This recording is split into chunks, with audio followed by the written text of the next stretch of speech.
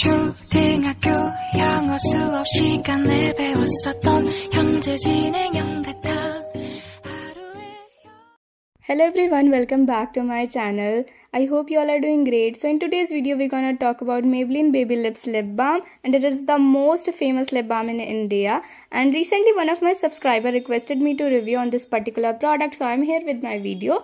And if you people want me to review something then you can comment and you can message me on my Instagram also. And don't forget to check my other videos also. They are very helpful to you and yeah, let's go.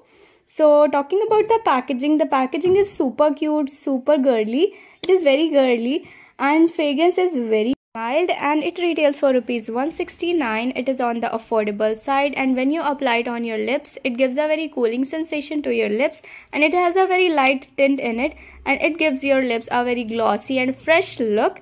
And you can check my other videos on affordable lip balms and the lip balm right now I have is the Maybelline Baby Lips Color Bright Out Loud Lip Balm. And yeah, that's it for today guys. Don't forget to subscribe to my channel and don't forget to follow me on Instagram also. And if you want me to review something, you can just comment on this video and message me on Instagram. Bye guys.